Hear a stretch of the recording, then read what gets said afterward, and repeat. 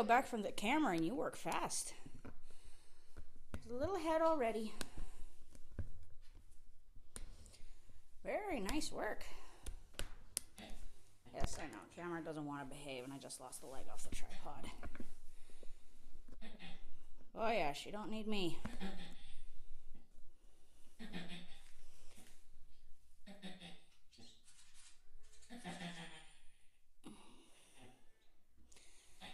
But we'll go in there and help just clean them off. It's funny, my sister's like, You've got a goat in labor and you want a Kodak moment? Yes, yes, I do. Oh, good day and good morning from Diary of a Goat Lass. This is the first time in my goating career I've been actually present for a birth. This is Hi-Ella, I believe. Goats that I've gotten from RobLynn Ranch. Big, beautiful five year old. And there's your little baby, a big one. No wonder you were struggling. Not that much. Here, good morning. Clean off his face. Or hers. Oh, yes, you want to clean them off. There you go. There's the little feet.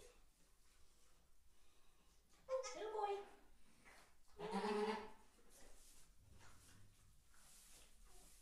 Let's just make sure your mouth is clean. Ooh. Oh yeah, that's a boy. Messy little beast they be.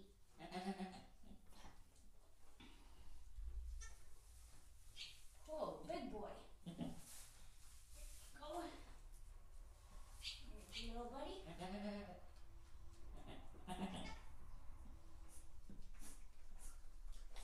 you go, get to work. Umbilical's broken now. At least his mouth is clean.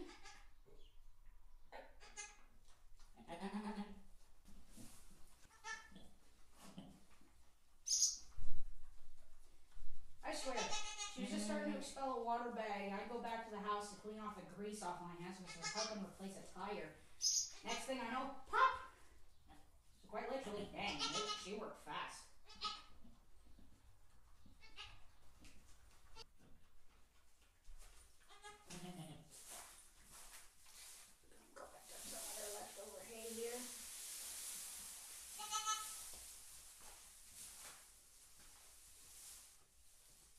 Get you on a nice clean bed. There you go. There you go.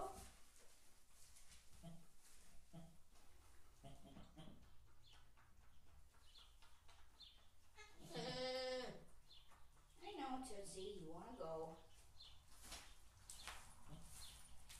And I tell you what, you can go and we'll leave the new mummy alone.